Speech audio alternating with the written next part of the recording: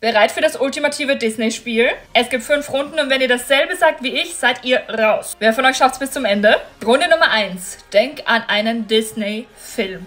Irgendeinen Film. Ich gebe dir ein paar Sekunden. Meiner ist Lilo und Stitch.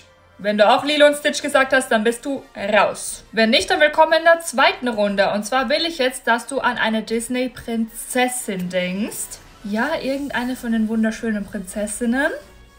Und ich sage natürlich Rapunzel. Einige von euch werden wahrscheinlich rausgeflogen sein, tut mir sehr leid, aber für den Rest geht es weiter mit Runde Nummer 3. Und zwar denk an ein Tier aus einem Disney-Film, egal ob Hauptcharakter oder Nebencharakter. Es soll ein Tier sein, wie gesagt.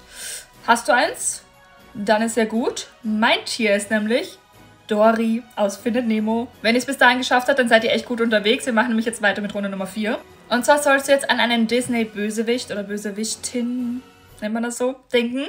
Ich habe gedacht an Ursula aus Ariel. Ich liebe Ursula. Na, wer hat es bis hierhin geschafft? Dann schon mal Glückwunsch, aber einige werden jetzt bestimmt rausfliegen. Letzte Runde, Nummer 5. Denk an ein Disney-Lied. Also an einen Song aus einem Disney-Film, aus einer Disney-Serie, was auch immer. Ich denke an das berühmteste. Let it go. Auf Deutsch lass jetzt los. Also let it go, let it go von Frozen, die Eiskönigin. Hat es irgendwer bis zum Ende geschafft?